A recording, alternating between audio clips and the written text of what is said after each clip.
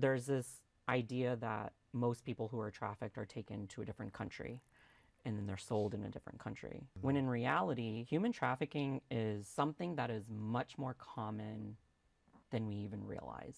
And it happens more times than most to marginalized people. Our systems that are in place that are supposed to protect everybody equally mm.